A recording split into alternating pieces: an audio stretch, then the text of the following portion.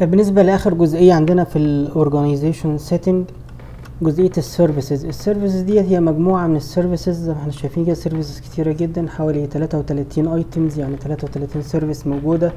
وديت service عامة وإعدادات عامة لكل ال services ديت يا إما أسمح أو أو لا أسمح allow أو deny. لل service دي إنها تطبق على كل الناس اللي عندي. أسمح لل- للناس اللي عندي إنها تج- تضيف ناس من بره جوه ال service بتاعتي ولا لأ؟ الناس اللي بره يقدروا يشوفوا ال groups اللي عندي ولا لأ؟ يعني هي كلها بتدور حوالين القصة ديت. أسمح للناس في المؤسسة بتاعتي يشوفوا ال features دي ولا لأ أو ال service دي ولا لأ. ال Azure speech services برضو أسمح له الناس تشوفه ولا لأ.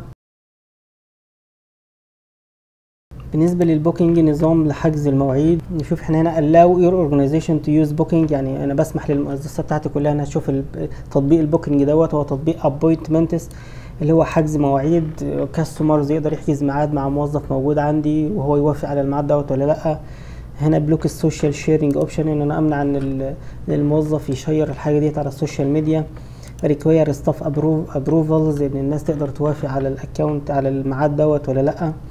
تعتبر هي اللي هي التفاصيل دي كلها كل ال services بالشكل دوت.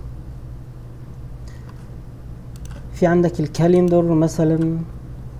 هنا كده allow users to share ال calendar أسمح لل users يشيروا ال calendar دي ولا لأ؟ يعني ال calendar عندي بسمح للناس اللي بره الشركة عندي بسمح للناس انها تشير ال calendar دي مع الناس اللي بره الشركة ولا لأ؟ okay تمام. آه، بسمح إن أي حد يقدر يستلم invitation ولا لأ؟ تمام. يعني هو بنفس الشكل دوت يعني كله من كده ال Cortana برضو الناس تقدر ت manage ال Cortana ولا لأ. ال directory synchronization أقدر اعمل sync مع sync ال users مع ال Active Directory ولا لأ.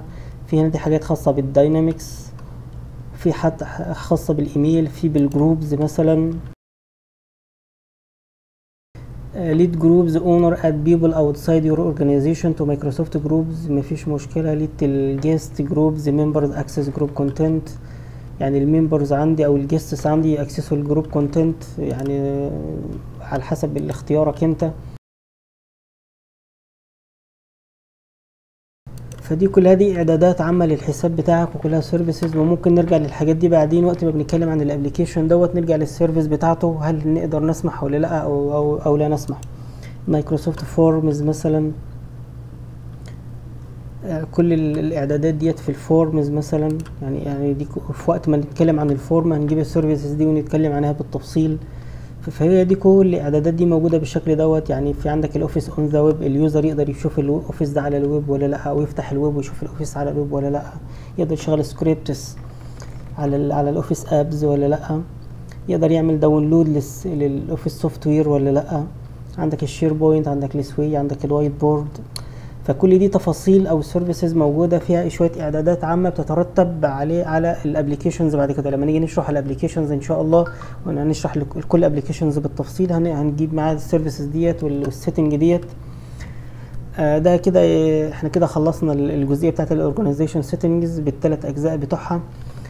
إحنا كده جينا لنهاية الفيديو بتاع النهارده. أتمنى أن تكون المعلومة وصلت بشكل كويس وانكم استفدتوا منها ولو في أي استفسار اكتبوا لنا comment تحت الفيديو وهنجاوب عليكم إن شاء الله. شكرا ليكم. نشوفكم فيديوهات جاية إن شاء الله. السلام عليكم ورحمة الله وبركاته.